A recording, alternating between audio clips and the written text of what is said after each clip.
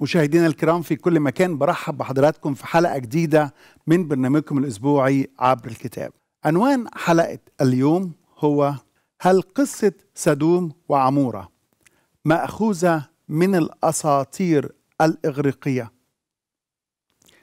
وهذا العنوان هو للرد على اتهام الدكتورة وفاء سلطان بأن قصة سدوم وعمورة منهوبة ومسروقة من أسطورة إغريقية.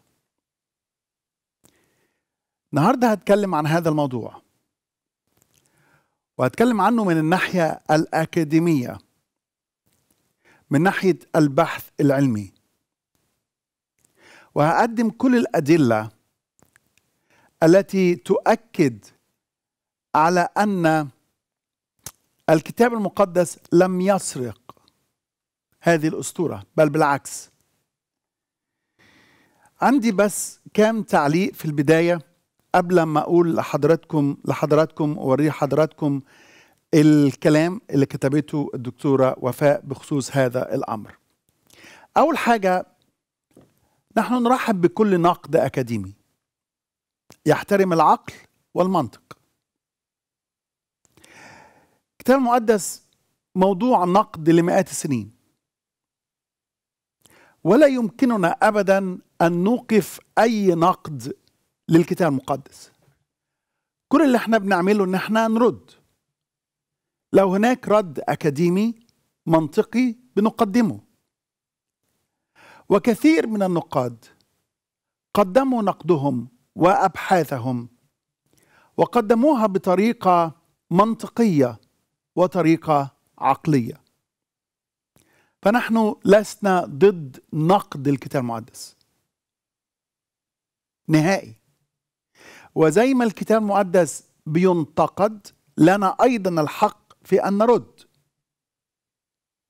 من واجبنا بل من مسؤوليتنا كمؤمنين إن إحنا يعني نجيب على كل اتهام يوجه لكلمة الله. ده منطقي جدا. موقف الدكتورة وفاء سلطان من الإيمان المسيحي أنا بعتبره موقف شخصي بمعنى أنه مش يعني مش عداء شخصي لا موقف شخصي ولها مطلق الحرية في ذلك. هي حرة تقبل المسيح أو ترفض المسيح. لا أحد يستطيع أن يجبر أحد على الإيمان ولا أحد يستطيع أنه يعني آه يجبر إنسان إنه يقبل معتقد معين. وعشان كده هي حرة. تقبل المسيح شيء رائع. ترفض المسيح ده قرارها شخصي. ولا يستطيع أحد أن يحاكمها على عدم إيمانها بالمسيح. هذا الأمر متروك ليها والمسيح. متروك للرب وحده. وليس لنا كبشر. حاجة الثالثة حلقة اليوم هي رد مباشر على جزئية معينة وهي أنها قالت أن قصة سدوم وعمورة مسروقة من الأسطورة اليونانية أو الإغريقية فايليمون وبوسيس. وده ده تخصصي. أنا معايا بي اتش دي في العهد القديم. وبالتالي أستطيع أن أقدم ردا على هذه التهمة التي أعتبرها ادعاء ليس له سند. فهل هذا الادعاء صحيح؟ وهل يوجد من يؤيده من علماء؟ مش مسيحيين. أنا بتكلم على علماء متخصصين في الكلاسيكيات اليونانية القديمة. كتابات اليونانية القديمة فلاسفة اليونان القدماء. هل يؤيد هل هل يوجد من يؤيد هذا الادعاء بأن سدوم وعموره مسروقة من أسطورة إغريقية؟ هذه الجزئية هي موضوع حلقة اليوم. ولا أتكلم عنها بالتفصيل. طيب نشوف اللي قالته الدكتورة وفاء سلطان. دكتورة وفاء سلطان أنا هحط كل البوست بتاعها قدام حضراتكم وهقراه لكي ما أكون أيضا منصف ولكي أقدم كل ما قالته بخصوص هذا الأمر. بتقول إيه؟ بتقول ماذا لو بقى العالم ملتزما بأساطير الأولين. لقد سرقتها الأديان ثم شوهتها. كنت ولم أزل وسأبقى مسحورة بالحكمة التي تحملها الأساطير الإغريقية ولكل منا الحق أن يستخرج منها ما يراه حق طبيعي. فالحكمة التي تنطوي عليها أي, أي أسطورة ليست منقوشة في الصخر. لكنها تختلف باختلاف ذهن القارئ لها. لذلك قد أستخلص من أسطورة بوسيس وفيليمون ما لم يستخرجه أحد غيري. تقول الأسطورة بوسيس وفيليمون زوجان عجوزان يعيشان في كوخ مهتري في قرية تدعى تيانا من بلاد الأناطول, الأناضول تركيا اليوم. لم يكن في ذلك الكوخ سيد ولا عبد بل كل بل كان كل منهما يمارس عمله بلا سيادة وبلا عبودية. في يوم من الأيام تنكر الإلهان زيوس وهرمس بلباس فلاحين وراح يدقان باب كل بيت في تلك القرية على حدة. يستجديان من الناس طعاما ومأوى. أغلقت كل الأبواب في وجههما. ولم يسمع كلمة ترحيب واحدة من أي من السكان القرية. باستثناء بوسيس وفيليمون فلقد فتح الباب للضيفين ورحب بهما وقدم لهما طعاما متواضعا جدا يعكس حالة الفقر التي كان يعيشانها. لاحظ الزوجان أنه كلما فرغ الصحن عاد ليمتلئ من جديد. فأدرك أن الضيفين إلهان. هنا ركع أمامهما وراح يطلبان المغفرة لأنهما فقيران ولم يكن لديهما سوى هذا الطعام المتواضع. ثم ركض فيليوم وراء وزة كان يحتفظ بها لتحرس له الدار. ركض وراءها بغية الإمساك بها كي يذبحها ويطبخها للضيفين. فركضت الوزة واختبأت خلف الضيفين.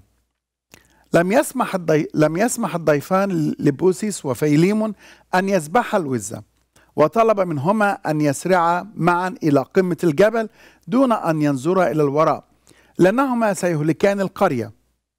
منها سرقت الأديان الإبراهيمية خرافة سدوم وعمورة أو ثمود وعاد إذ لا فرق فامرأة لوط ولأنها نظرت إلى الوراء صارت عمود من الملح. لما وصل القمة نظر إلى القرية فبدت لهما غارقة في طوفان من الماء. وشاهد كوخهما المهتري وقد تحول إلى معبد من الذهب ذات عواميد.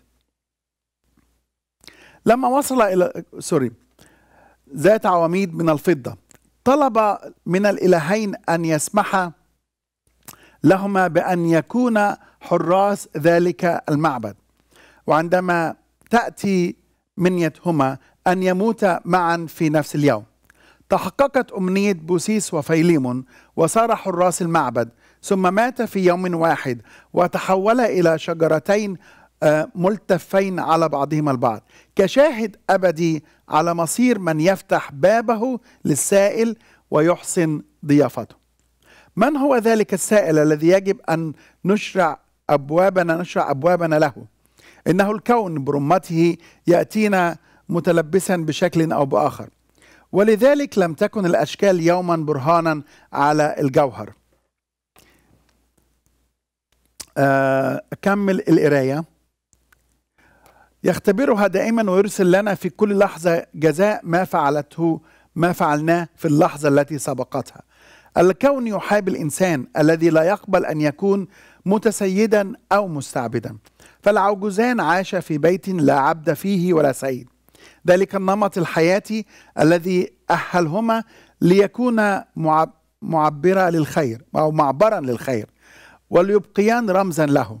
إذا لا نستطيع أن نكون أصدقاء للكون ما دمنا أحد اثنين عبدا أو سيدا. فالعبودية كما هي السيادة المطلقة حالتان تعاكسان مجرى الدفق الكوني. ولا تسمحان له بالعبور لأن الحقد يتحكم بالعبد والغدرسة تتحكم بالسيد وكلاهما وكلا الصفتين تجردان الروح من كونينتها لم يأتي إليهما إله واحد بل اصطحب كل منهما صديقه الإله الآخر. إنها إشارة على أن التعدد هو قانون كوني ولم تكن نظرية الوحدانية التي بلتنا بها الأديان الإبراهيمية إلا غطرسة وطغيانا. في أسطورة بوسيس وفيليمون غرقت القرية كلها لأنها كانت شريانا مسدودا لم يسمح للخير أن يعبرها إلى المحتاجين له. وهذا قانون كوني فعندما تشح الأرواح ويتوقف العطاء يصبح شح طريقه طريق طريقه حياة. بينما في خرافة الأديان الإبراهيمية دمر الله سدوم وعمورة فقط لأنهما كانت تحوي مثلين مثليين. بينما أنقذ لوطا الذي شرب حتى ثمل وحبل وحبلت ابنتيه وحبل ابنتيه أنقذه لأنه كان رجلا صالحا. هل هناك تشويه لمفهوم الصلاح وقبح أقبح من هذا القبح؟ أوكي. أجي إلى الجزء الأخير في هذه المقالة لدكتورة وفاء سلطان. بتقول ويبقى السؤال لماذا دمر هذا الإله السادي المدينتين بالكامل؟ تكلم عن الله يهوى. وتصف بأنه إله سادي. لماذا دمر هذا الإله السادي المدينتين بالكامل؟ ثم سمح للفعل بأن يستمر من جديد. هل حقق هذا التصرف الهمجي الإرهابي غاية نبيلة. ما هي؟ طبعا لم يحقق سوى تجييش الحقد والكراهية والعنصرية ضد مجموعة من البشر. لم يؤذوا يوما أحدا إلا أقل بكثير مما سببه من أذى كل من أتباع هذا الإله. في آخر المقالة بتقول ما نراه اليوم من تطرف. في ثورات المثليين عبر العالم أنا هعدي الجزء بتاع المثليين ده. لأنه ده محتاج حلقة كاملة أن أنا أرد عليه لكن خليني أخد الجزء الأخير. كيف تريدني أن أؤمن بأديان؟ كانت قد سرقت خرافاتها من أساطير مغله في البعد. لم تسرقها وحسب بل شوهت بعدها الاخلاقي ومغزاها الانساني ونسبتها لإله سادي بربري لا وجود له إلا في كتبهم. هذا ما قالته وكتبته دكتورة وفاء سلطان. وأنا من على هذا المنبر عندي كل الحق فأن أرد على هذا الادعاء وسأرد عليه بطريقة أكاديمية بطريقة بحث أكاديمي يحترم فيه عقل ومنطق المشاهدين. لن أقول أشياء لمجرد إن أنا مقتنع بها. زي ما قالت الدكتورة وفاء في مقالها ولم تقدم دليلا واحدا. فكل ما كتبته وهي المفروض باحثة و يعني في المجال الأكاديمي المفروض الواحد لما بيكون في المجال الأكاديمي بيكون عنده كل طرق البحث اللي بيها يتحقق من معلومة ينطق به قبل أن ينطق بها أو قبل أن يكتبها. لكن الدكتورة وفاء كتبت وقالت كل ما تريد أن تقوله ضد الكتاب المقدس وضد إله الكتاب المقدس. دون أن تقدم دليلا واحدا ودون أن تقوم ببحث علمي يحترم العقل ويحترم المنطق. فأنا أظهر في هذه المقالة اللي كتبتها الدكتورة وفاء عدة مغالطات. ويمكن لن يسعني الوقت إن أنا أرد على كل هذه المغالطات. لكن يكفيني النهارده إن أنا يمكن أرد على مغالطة أساسية واحدة متعلقة بالعهد القديم. قصة سدوم وعمورة دي المغالطة الأولى. تقول إنها مسروقة من فايليم وبوسيس. سدوم وعمورة مسروقة من القصة الإغريقية في فايليم وبوسيس. دي أول مغالطة. تاني مغالطة أنها تتهم إله الكتاب المقدس بأنه إله همجي وإرهابي. وإنه ما فعلوا مع سدوم وعمورة. هي مجرد غلطة ضد ناس طيبين كانوا مثليين. تقول أن تعدد الآلهة مبدأ كوني والوحدانية هي ابتلاء. ثم تتحدث عن حقوق المثليين. الشواذ طيب آجي إلى المغالطة الأولى. إيه هي المغالطة الأولى للدكتورة وفاء سلطان؟ المغالطه الأولى في ال post اللي قريته لحضراتكم هي أنها بتؤكد أكثر من مرة أن قصة سدوم وعمورة قصة مسروقة من الأسطورة الإغريقية فايليمون وبوسيس. دي أول مغالطة. كويس؟ وقالت هذا الادعاء أكثر من مرة في المقالة بتاعتها. قالت في بداية المقالة ماذا لو بقى العالم ملتزما بأساطير الأولين لقد سرقتها الأديان؟ يمكن ده يعني general statement كويس؟ لكن اللي يقرأ تحت يعرف إنها بتتكلم على اللي أنا بقوله إنه سدوم وعمورة مسروقة.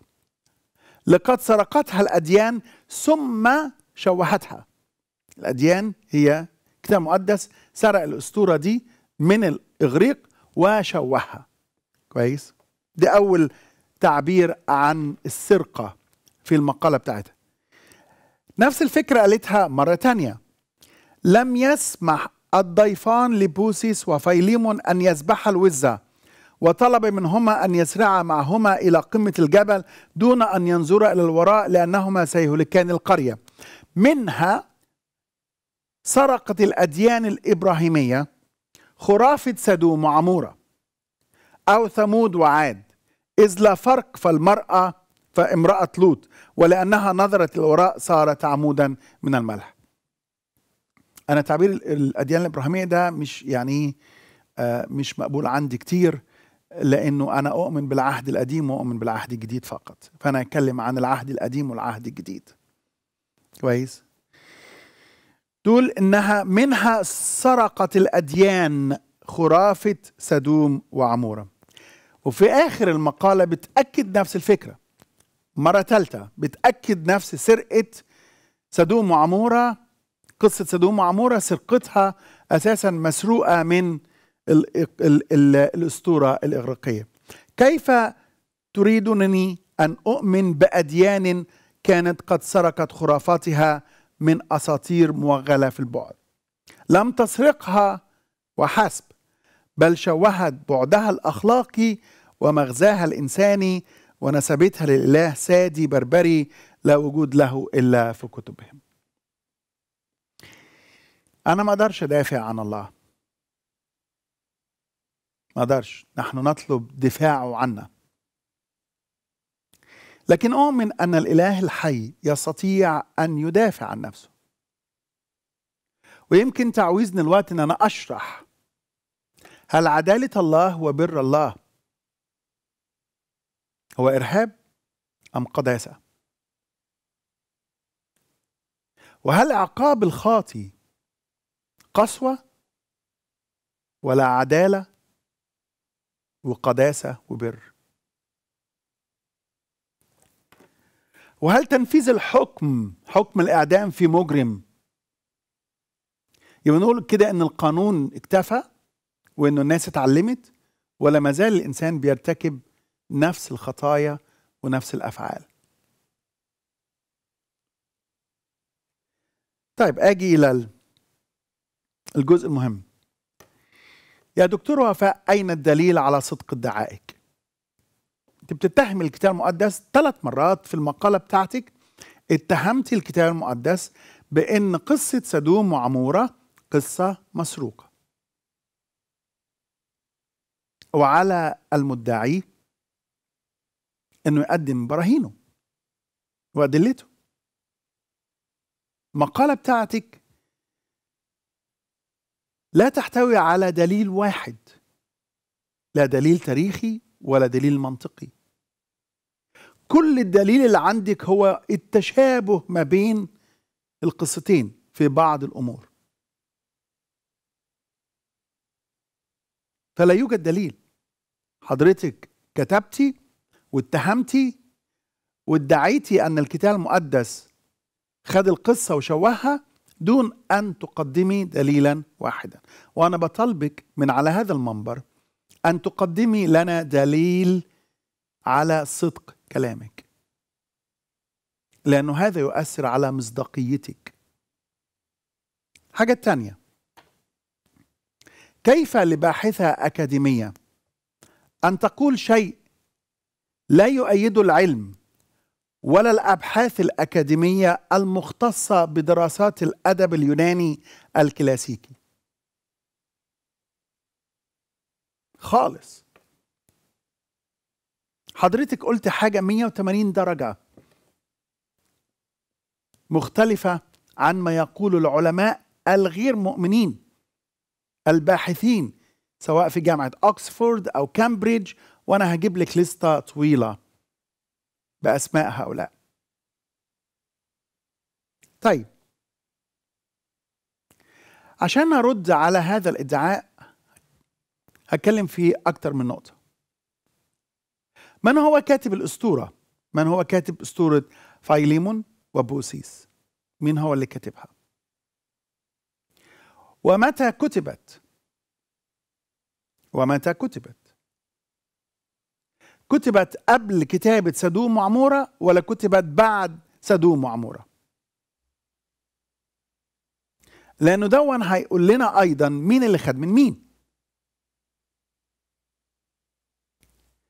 حاجة الثالثة في أي منطقة تمت أحداثها وده مهم بالنسبة لنا وإحنا بندرس هذا الجزء تمت فين؟ تمت في اليونان ولا تمت في منطقة معينة في آسيا الصغرى؟ واشمعنى هذه المنطقة. الحاجة الرابعة وما هي المصادر التي استخدمها الكاتب في كتابة الأسطورة؟ ما الكتب الأسطورة استخدم مراجع.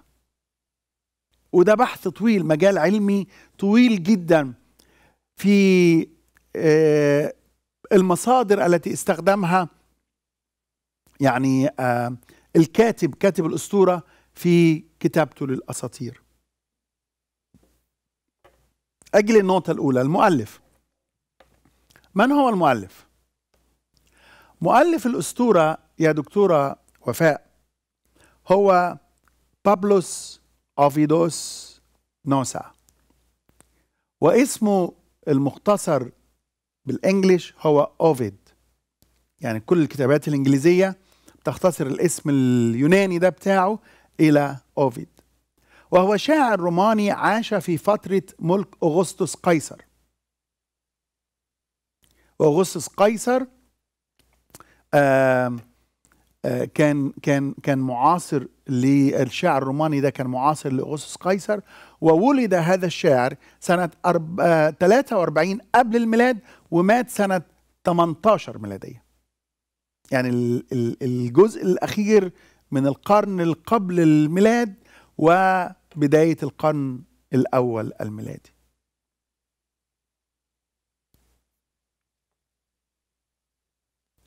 الأسطورة موجودة في أشهر كتبه وهو كتاب ال Metamorphosism morphosis بما معناه التحولات. كتاب التحولات. Metamorphosism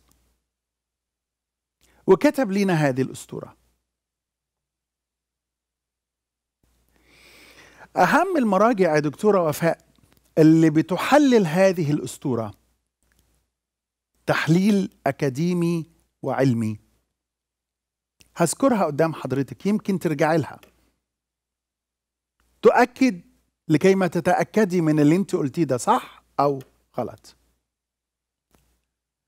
أول كتاب لبروت أوتيس وهو أوفيد as an epic poet كشاعر أسطوري يعني وده ناشر هو جامعة كامبريدج وكارل جلينسكي أوفيد ميتا مورفيسز ودون أرسو الناشر هو جامعة أكسفورد وهوليز وبرضو الناشر هو جامعة أكسفورد و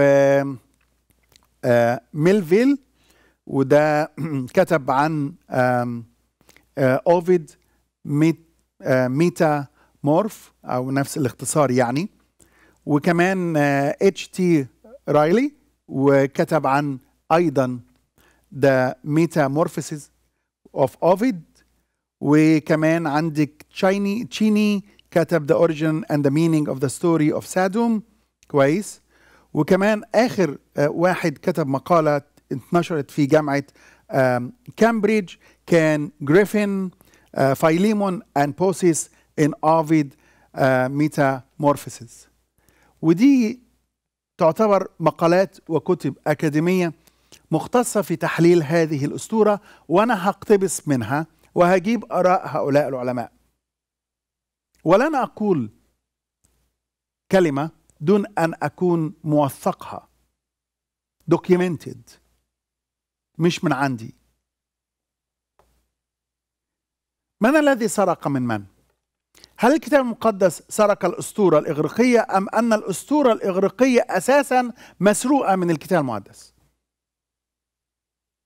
ده السؤال الأساسي. ده محورنا النهارده. زي ما قلت لا يوجد عالم واحد متخصص في الكتابات الإغريقية القديمة يقول بأن الكتاب المقدس سرق الأسطورة الإغريقية. ولا واحد. كل هؤلاء الذين ذكرتهم أمام حضرتك. ولا واحد فيهم يستطيع أن يقول إنه الكتاب المقدس سرق الأسطورة. بل بالعكس أغلبهم قال إنه مصدر هذه الأسطورة هو القصة الكتابية. قصة سدوم وعمورة وقصة زيارة الملائكة لإبراهيم في تكوين 18 يعني الأسطورة دي واخدة من أصحاحين واخدة من أصحاح 18 قصة الملائكة لإبراهيم واخدة من أصحاح أيضا آه، 19 قصة الملاكين وزيارتهم للوط في سدوم وعمورة ودمار سدوم وعمورة. وليس العكس. وإذا لقيتي لي العكس من فضلك. قولي لي يمكن أنا غلطان. الفرق الزمني يا دكتورة وفاء بين أحداث سدوم وعمورة وما بين القصة الأسطورية الإغريقية أكثر من ألفين سنة. أكثر من ألفين سنة. ولأني أنا شخصيا أؤمن أن موسى هو كاتب التوراة سواء قبلتي أو رفضتي doesn't matter معايا يعني. فبالتالي لو قلت إن موسى كتب التوراة 1400 قبل الميلاد يبقى الفارق الزمني ما بين النص اللي مكتوب النص اللي مكتوب مش الحدث الحدث حدث من 2000 سنة لكن النص اتكتب 1400 سنة قبل الميلاد يبقى الفرق الزمني بين النص الذي كتب الأسطورة بين أوفيد وكتابته للأسطورة وما بين النص اللي اتكتب في الكتاب المقدس 1400 سنة. ولو رفضتي حتى انه موسى هو الكاتب ورحتي مع الفكر الليبرالي إنه سفر التكوين كتب في القرن الثامن أو السابع قبل الميلاد يبقى أيضا حتى آراء العلماء النقاد الليبراليين المناقضين لأن موسى هو الكاتب لا تتماشى مع لا تتماشى مع ادعائك. يبقى القصة اتكتبت 700 سنة قبل الميلاد. وموجودة. دي أول حقيقة. يمكن حضرتك مش عارفة الحقيقة دي. تعرفيش الفرق الزمني الكبير سواء ما بين الحدث أو ما بين الكتابة. فقصة سدوم وعمورة لم تكتب في القرن الأول الميلادي ولا القرن الثاني الميلادي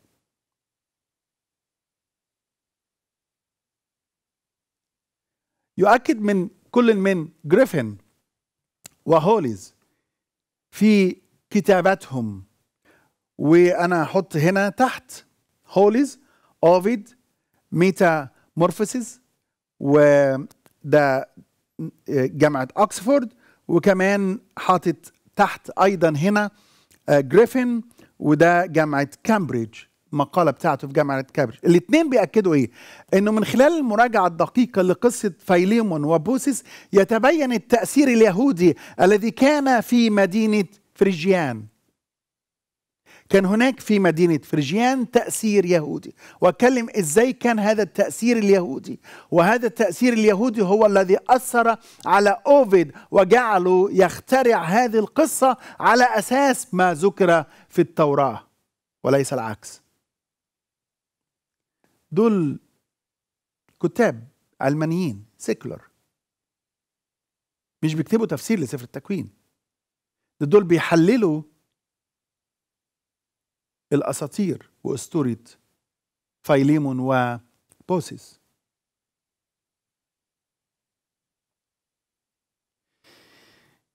منطقة فريجيان أو فريجيا هي منطقة تقع في الناحية الغربية لآسيا الصغرى اللي هي تركيا قرب الأناضول.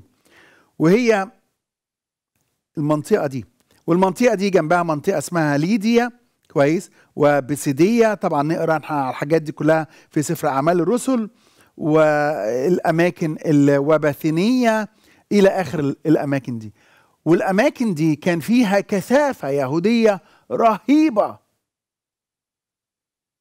وعشان كده بولس لما كان بيروح الأماكن دي كان أول حاجة بيروحها إنه يدخل المجامع اليهودية. يعني كان فيها مجامع يهودية مؤسسة.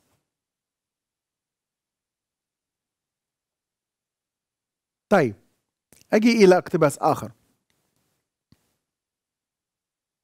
رايلي في في كتابه Meta Metamorphosis of Ovid واللي هو نشرته منشور في لندن 1905 بيقول الآتي. بيقول إنه المقالة دي بتاعت جريفن بيقول فيها أن لاحظ H T رايلي أن الكتاب المعاصرين يعتقدون كتاب المحللين المعاصرين يعتقدون أن قصة المصير البائس للجيران غير المضايفين لفايليمون وبوسيس بنيت بنيت على حساب الكتاب المقدس المتعلق بدمار مدن الدائرة.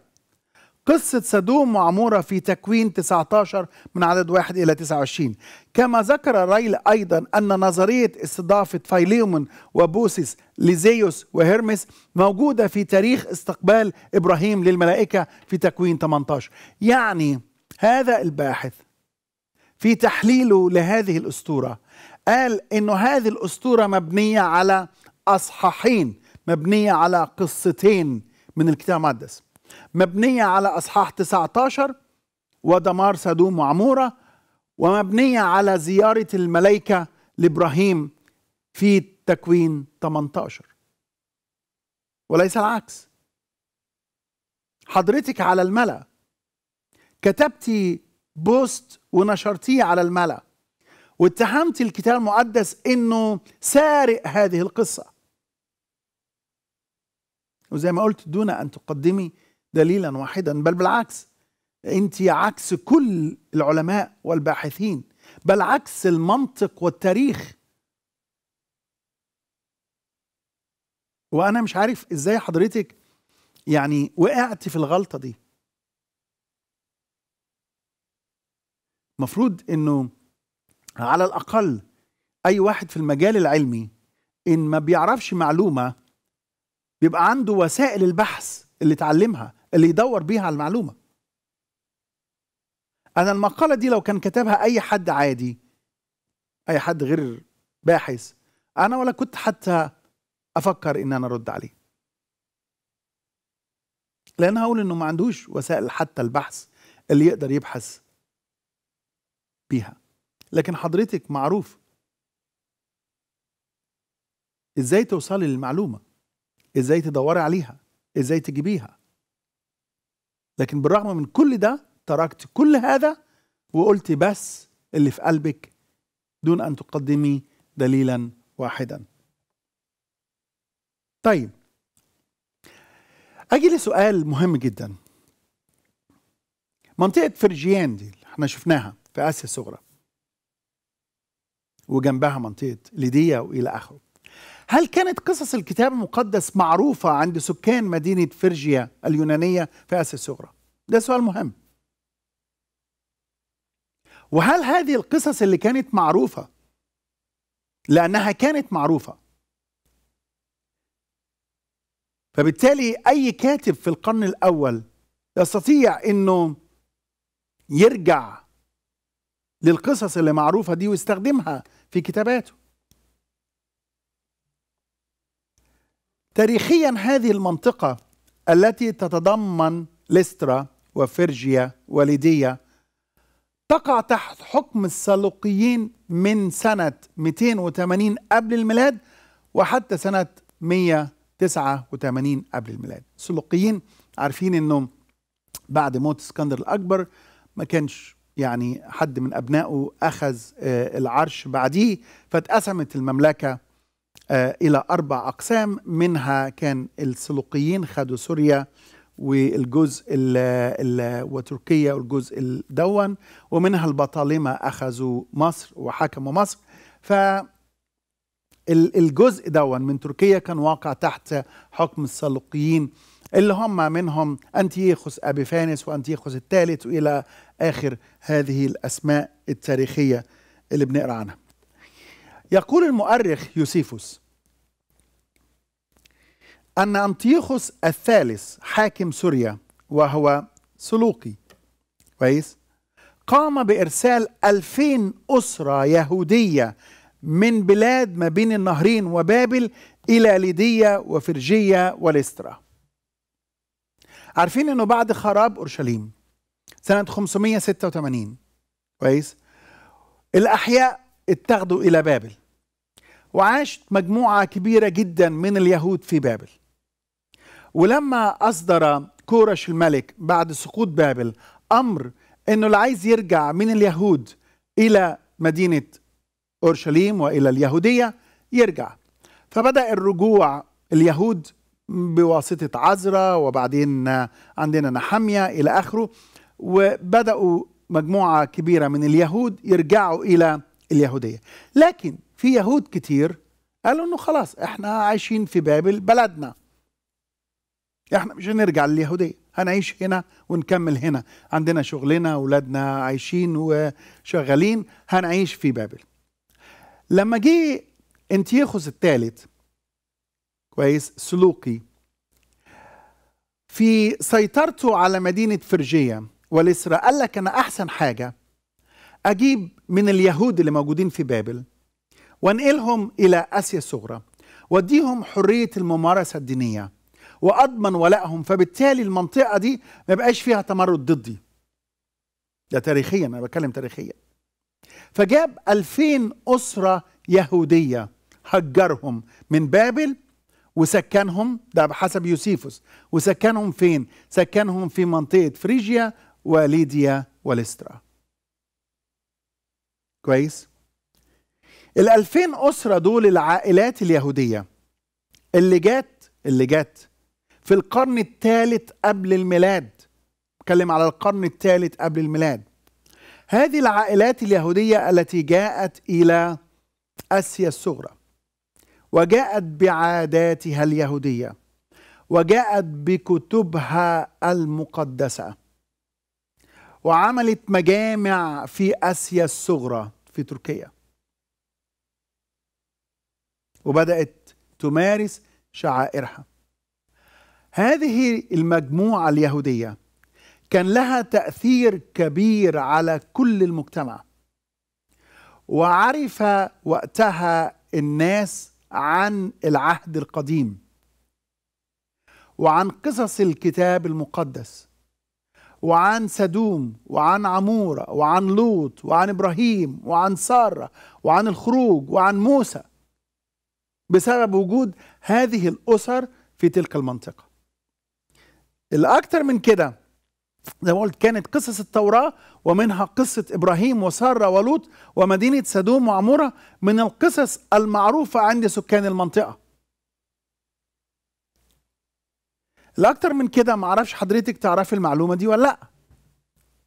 إنه العهد القديم العهد القديم كان موجود. قبل سنة 300 كويس؟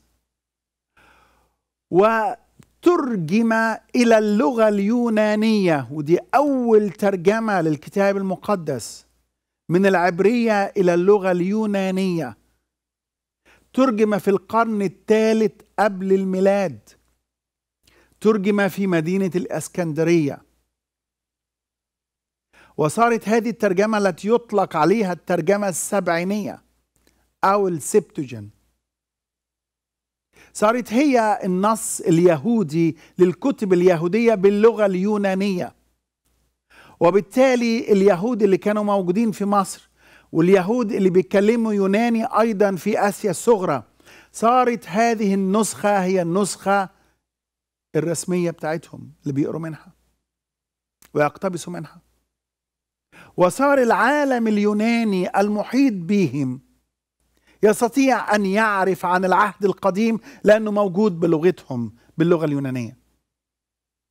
ده أنا بتكلم على القرن الثالث قبل الميلاد. ما كانتش لسه الأسطورة أسطورة فايليمون وبوسيس اتكتبت. كانتش اتكتبت لسه. لأنه اللي كتبها مات سنة 18 ميلادية. اللي كتبها مات سنة 18 ميلاديه أنا بتكلم على سنة 280 قبل الميلاد. اسطورة فايليمون وبوسيس كتبت في المنطقة في هذه المنطقة. المنطقة اللي هي فيها اليهود. عشان كده لما نقرأ القصة نفسها والأسطورة نفسها نعرف أنه مدينة فريجيا ومدينة ليديا. القصة نفسها الكاتب استخدم المنطقة نفسها بأسمائها. اللي فيها يهود اللي عايش فيها اليهود. ما اتكتبتش في أثينا ولا اتكتبت في روما ولا اتكتبت في بلاد بعيدة عن منطقة فريجيا. وده يوريكم التأثير اليهودي حتى على الكاتب كاتب الأسطورة أوفيد اللي كتب الأسطورة. إنه كان متأثر جدا بقصة سدوم وعمورة ومتأثر جدا بقصة إبراهيم وسارة.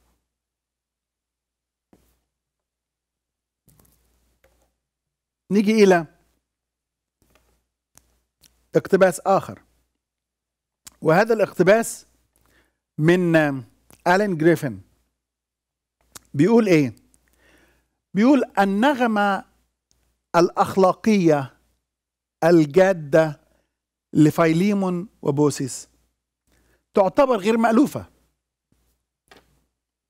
يعني نغمة عدم وجود عبد عبيد نغمة إنه فايليمون وبوسيس لم يكونوا أسياد نغمة آآ آآ مكافأة البار إلى آخر الأمور دي. هذه النغمة الأخلاقية هذه المبادئ الأخلاقية غير مألوفة في العالم اليوناني. غير مألوفة. حضرتك بتقولي ده إحنا اقتبسناها وشوهنا المبادئ الأخلاقية اللي فيها. ده الكاتب ده بيقول لك إنه المبادئ الأخلاقية اللي اتكتبت في الأسطورة دي أساسا لم تكن مألوفة في العالم اليوناني. طب أمال جابها منين؟ وهي ربما تعكس. شوفوا بقى هو بيقول إيه؟ وهي ربما تعكس خلفية العهد القديم.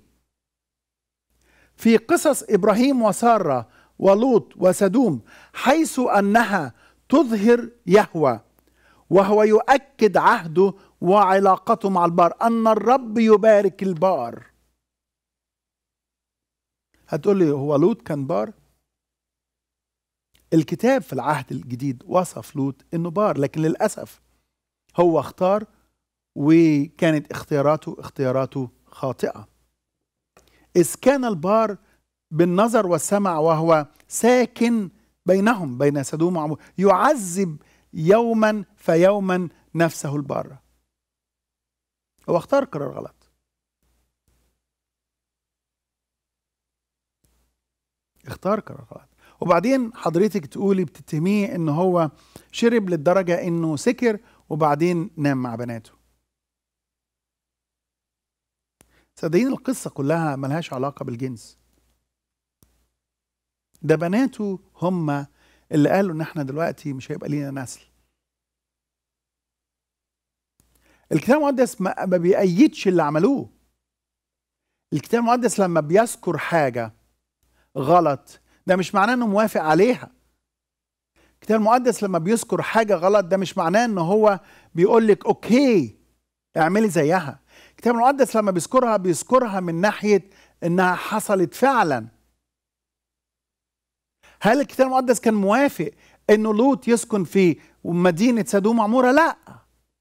طب ليه ذكرها؟ ذكرها لأنه الكتاب المقدس صادق فيما حدث يذكر ما حدث بالظبط سواء غلط أو صح. فمن أين أتى أوفيد بهذا السمو الأخلاقي في الأسطورة بتاعته؟ أتى بهذا السمو الأخلاقي من تأثره بقصة سدوم وعمورة وقصة إبراهيم وسارة وكيف أن الله يبارك البار ويكافئ البار ويهلك الشرير. زي ما المدينة كلها أغرقت في القصة الأسطورية. وعلى فكرة كلمة أغرقت هي انعكاس أيضا لما ذكر في سفر التكوين أصحاح 19 عندما يقول الكتاب أنه أمطر الله عليهم نارا وكبريت فكلمة ترين متأثر بها الكاتب. ده إذا أردنا أن نحلل كل حاجة في الأسطورة بتحليل علمي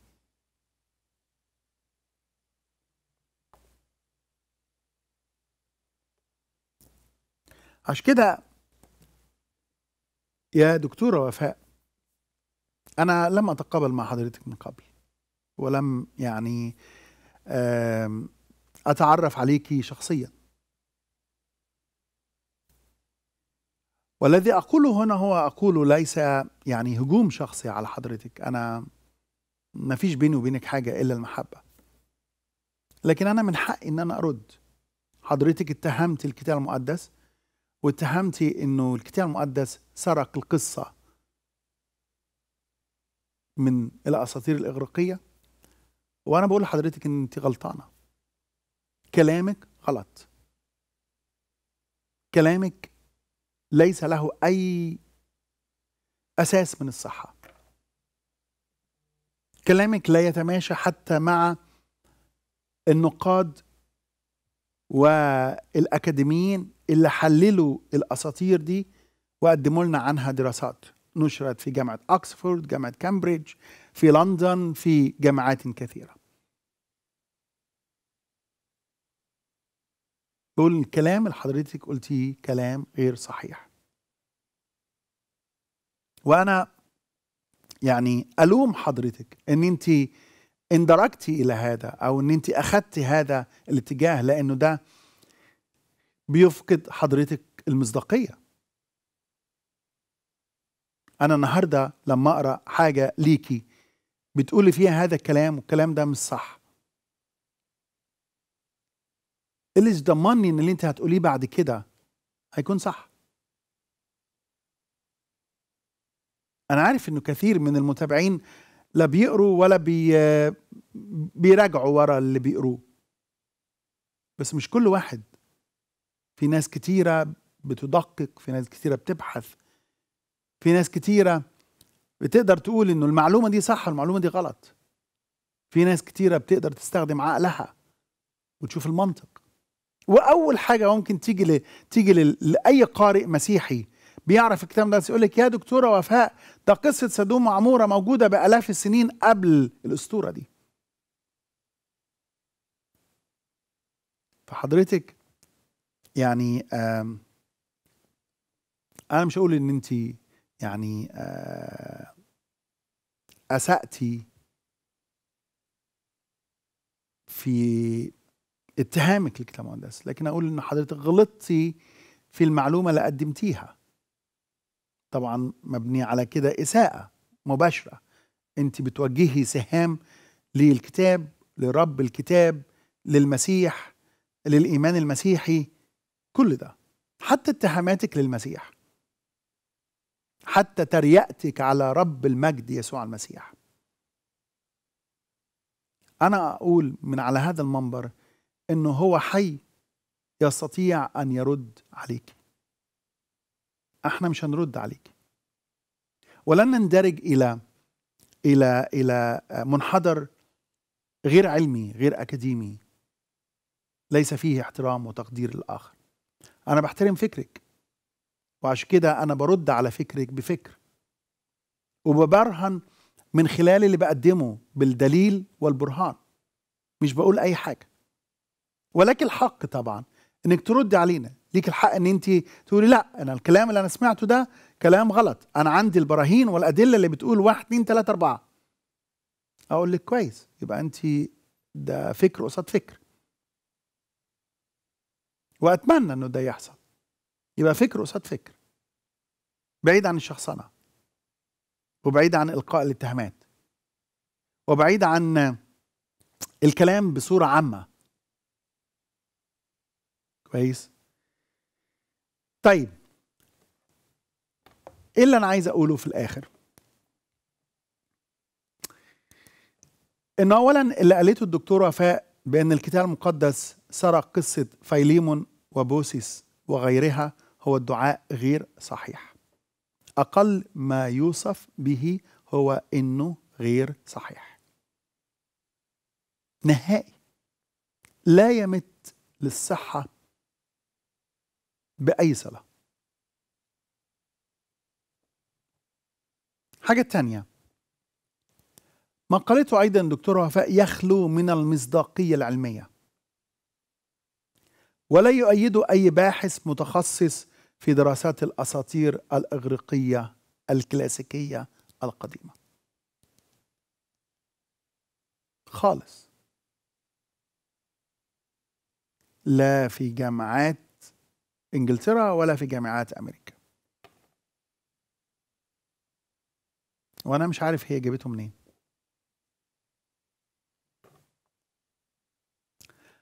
القصة الكتابية يا دكتورة وفاء هي الأساس.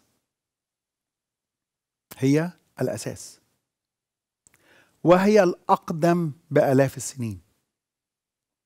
من حيث الحدث. ومن حيث الكتابة اقتناع الشخصي 1400 سنة. ولو مشيت مع أقصى يعني احتمال عند المدارس الليبرالية النقاد للكتاب المقدس القرن السابع قبل الميلاد. فيا إما إنه القصة دي مكتوبة قصة إبراهيم وسارة وقصة سدوم وعمورة مكتوبة ب 1400 سنة قبل قصة أوفيد وأستورتو أو مكتوبة قبل قصة أوفيد وأستورتو ب 700 سنة.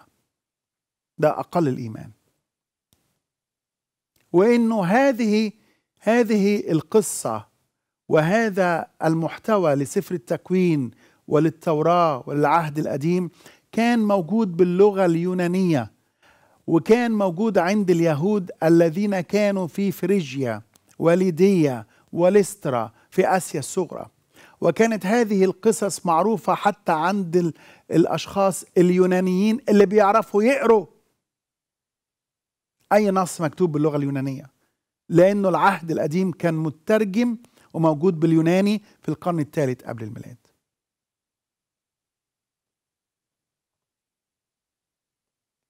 الصح هو إن الأسطورة الإغريقية رأت في قصة إبراهيم وسارة وقصة هلاك سدوم وعمورة. مبادئ أخلاقية غير موجودة في العالم اليوناني. فاقتبست الإطار العام بل اقتبست الفكرة نفسها وقدمتها بصيغة وبأسلوب يوناني للقارئ اليوناني اللي موجود في آسيا الصغرى. بمعنى أن قصة بمعنى أن قصة أو أسطورة فيليمون وبوسيس مسروقة. أقولها تاني. مسروقة من الكتاب المقدس. وأكتر من كده هي كاتبها متأثر جدا بالكتاب المقدس. فحتى الأحداث بتفاصيلها. مذكورة. مع اختلاف أسماء المدن وأسماء الأشخاص إلى آخره وبعض الأحداث. يبقى مين اللي سرق من مين؟ مين اللي سرق من مين؟ الكتاب المقدس لم يسرق. الكتاب المقدس القصص اللي فيه قصص حقيقية تاريخية تمت في مكان وفي زمان. وأي حد ممكن يقرأ الكتاب المقدس ويعرف بنفسه. عشان كده أنا مستغرب من هذا الاتهام. وأتمنى أتمنى من حضرتك إنه لما تكتبي حاجة عن الكتاب المقدس تأكدي منها قبل أن تكتبيها. تأكدي من المعلومة اللي هتقوليها. تأكدي من الاتهام اللي هتوجهيه للكتاب المقدس. تأكدي من مصداقيته. تأكدي من هل هذا الاتهام اللي هقوله على الكتاب المقدس يتماشى مع العلم والبحث والأكاديمية ولا لأ؟ كويس؟ لأن اللي قلتيه زي ما قلت لحضرتك بيسقط مصداقيتك فيما يتعلق بالكتاب المقدس. أنا مش دعوة بالأشياء التانية. فيما يتعلق بالكتاب المقدس اللي أنت قلتيه يسقط المصداقية بتاعتك. ويخليني أنا كقارئ كويس أقرأ مثلا اللي أنت كتبتيه أقول لا لا لا هي ما تعرفش حاجة عن الكتاب المقدس هي ما تعرفش حاجة. لا تعرف حاجة عن تاريخه ولا تعرف حاجة عن نشأته ولا تعرف عن عن القصص اللي فيه ولا تعرف حاجة عن زمانه وإمتى اتكتب وعن الأشياء دي كلها. ارفض المسيح. ده ده قرارك الشخصي. ارفض الإيمان المسيحي.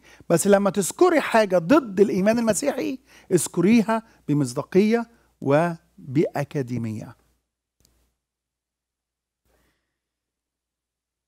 وصلي إن الرب يبارك حياتك وإنه يفتح الرب قلبك وذهنك لمعرفة يسوع المسيح. وإلى أن نلتقي في حلقة جديدة.